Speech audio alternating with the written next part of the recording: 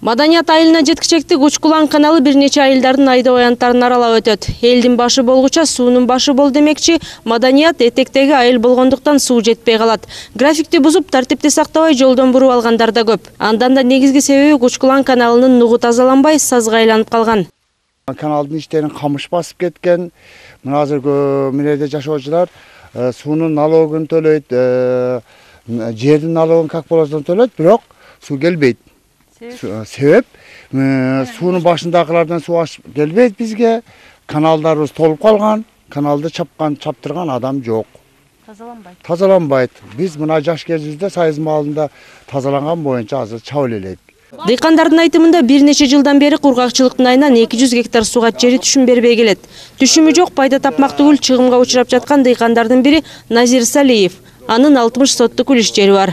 алты жылды бияга болуп калды А- огород баштайбыз бирок акырына чейин сугара албайбыз бирок налог төлө дегенде элден мурун жетип келишет суунун налогу жердин налогу башка налогдор боюнча мындай айтканда жөн эле жебеген тамакка акча төлөп атабыз да биз мындай айтканда суу проблемасы өтө кыйын болуп атат бизде мисалы үчүн үч күн бизге суу берилет жаз күнүндө эми берилмей болгондо баягындай график боюнча берилет берилгенде да жолдон мындай башка жактарга буруп кетип калгандар болот Э, дарыны алса удобренияны урукту алса так анан кийин айланып келип эле суу болбосо бу эгип койгон нерсени көгөрбөйт экен да шуну чечип беришсин бизге чечип бергенден кийин гана анан кийин келип бизден талап кылсын акчаны алайлы бергиле акчаны мына ичтиң сууну десин адамдардын жерлерин таштап атат азыр бу менен дыйканга жерди берип койгон менен дыйкан кантип өзүн өзү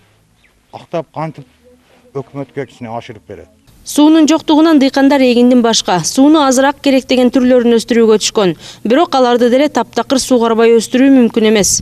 былтыр мисалы үчүн мен өзүм каражатымды эсептесем где то жыйырма миң жыйырма беш миң каражат кылыпмын удобрение жер айдоо боюнча эме боюнча где то жыйырма беш миң отуз миңге барып калат Расход. расходум кайра күзүндө келип отуз миңдик пахта саттым Ал эми каналдарды көзөмөлдөөчү орган болгон Суу пайдалануучулар ассоциациясынын өкүлдөрүнүн айтымында суу тийиштүү көлөмдө берилип жатыптыр. Ал эми суу акыркы айылдарга жетеби жокпу кызыгышкан эмес.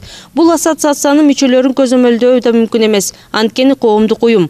Өздөрү каналдарды тазалоого каражатыбыз жок дешет. Бирок элден чогулган акча кайда кетет деген суроого жооп бере алышпады. Гүлжан Алтмышбаева, Бекжан Токтосунов, НТС, Ош.